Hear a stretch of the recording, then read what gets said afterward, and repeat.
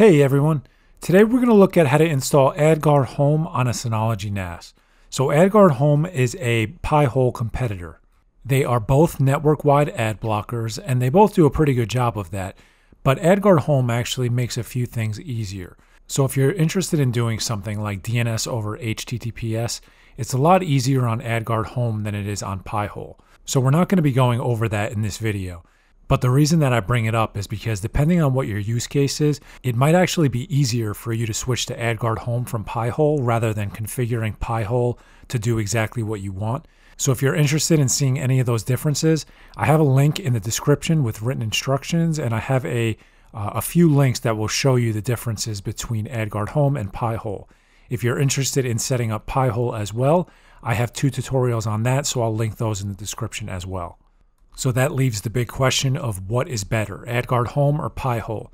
And it's very difficult for anyone to give you an answer, and I'd be very weary of anyone that does give you an answer.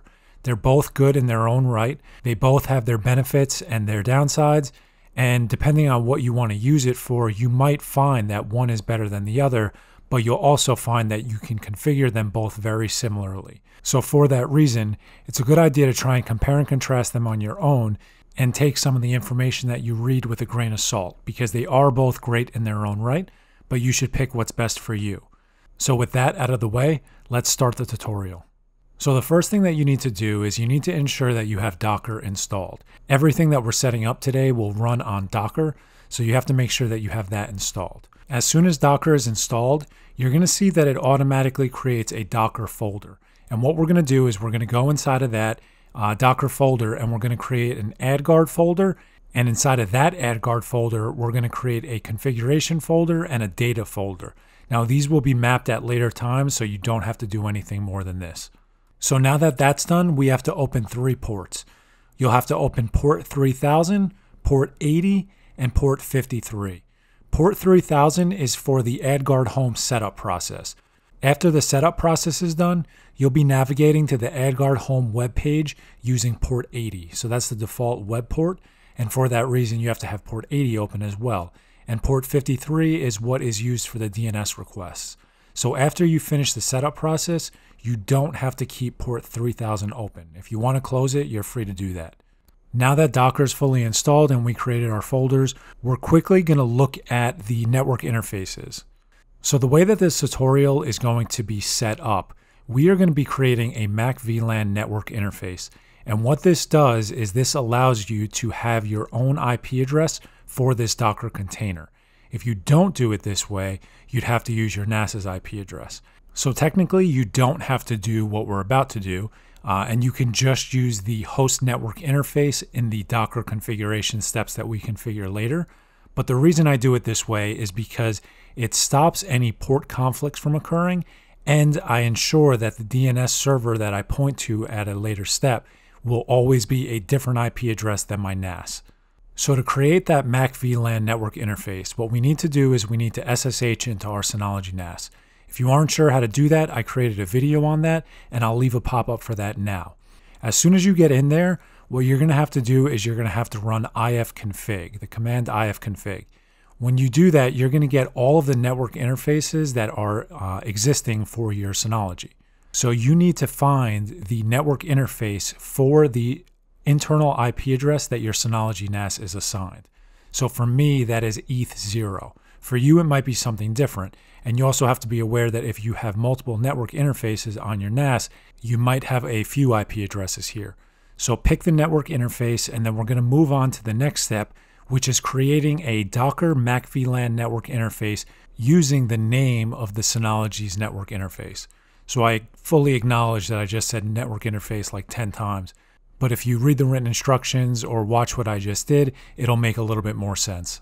As soon as that's done, we need to go into the Docker network section and we need to create a bridge network. So I want to quickly explain what this bridge network does. By default, your Synology NAS will not be able to talk with the Mac VLAN network we just created, meaning that if you specify your Synology's DNS server as that Mac VLAN uh, IP address, your Synology NAS will not be able to find that. The way that it finds it is through this bridge that we're about to create. So rather than using that IP address as the DNS server, you'd actually have to use this bridge. So to sum it up, if you want to use AdGuard Home as your Synology's DNS server, you have to use the IP address of this bridge network that we just created. After that's done, head over to the registry, search for AdGuard, and then download the latest AdGuard Home image. You should be able to double click it to launch the settings, and then what we're going to do is we're going to give it a name, and then we're going to select Advanced Settings.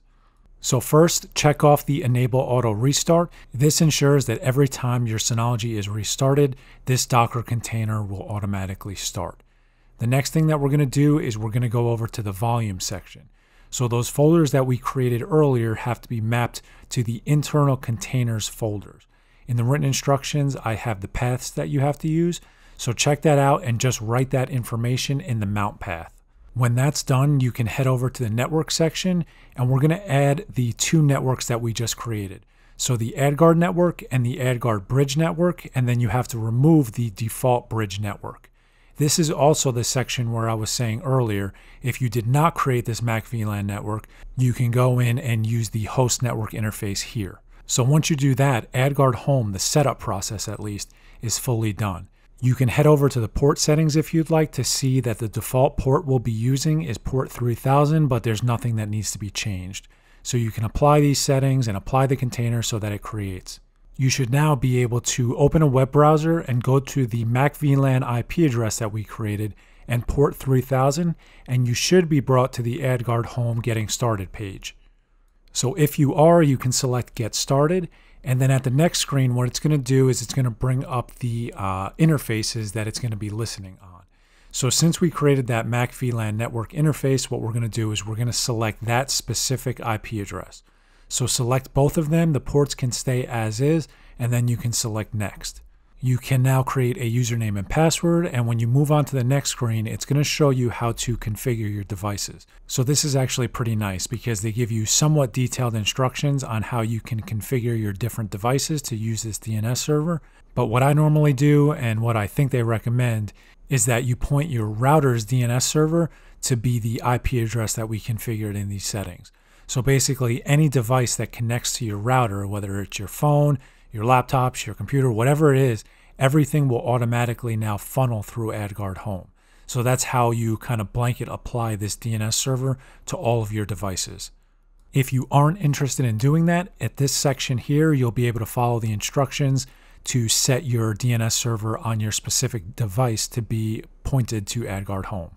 After that's done, you'll be brought to the AdGuard Home dashboard. So this is not an AdGuard Home configuration tutorial. Uh, I don't think it necessarily needs that in the written instructions. I gave a few uh, settings that I think that everybody should walk through, and most of it revolves around setting your upstream DNS servers, how to configure the DNS over HTTPS if you're interested in that. Uh, I also have a link on how you can add a certificate to your AdGuard home so that you can use DNS over HTTPS because if you don't configure a certificate, it will not work properly. So you need to ensure that you do that. So I'm not going to walk through any of these settings, but I don't want to leave you in the dark either. So if there is interest for a full AdGuard Home configuration tutorial, leave a comment and I'll try and create something for you guys. I didn't want to create it because most of these settings are user specific and you're going to be configuring it to your needs. Uh, but if there is interest for that, I'm happy to create a video for it. So like I said earlier, uh, AdGuard Home is a great alternative to Pi-hole. Whether you don't like Pi-hole or you just want to use something different, this is a great option that does a lot of the same things, but it makes certain tasks a little easier. If you're interested in what I'm doing, I'm going to continue to use Pi-hole. Uh, I've been running AdGuard Home for a few weeks now, and while I really like it and I think that it's great, uh, Pi-hole is kind of totally configured for me. It's set up exactly how I want it set up. And a lot of the stuff that AdGuard Home has that they make easier than Pi-hole, I'm not necessarily going to be using it, and I don't have a real need for it. So that's kind of my personal opinion. If you are using AdGuard Home for the first time and you just stumbled across this video and you are interested in checking out Pi-hole, I will once again leave a link for that in the description. If you guys have any questions, please leave them in the comments. If you like the video, give it a thumbs up and subscribe. Thanks a lot for watching.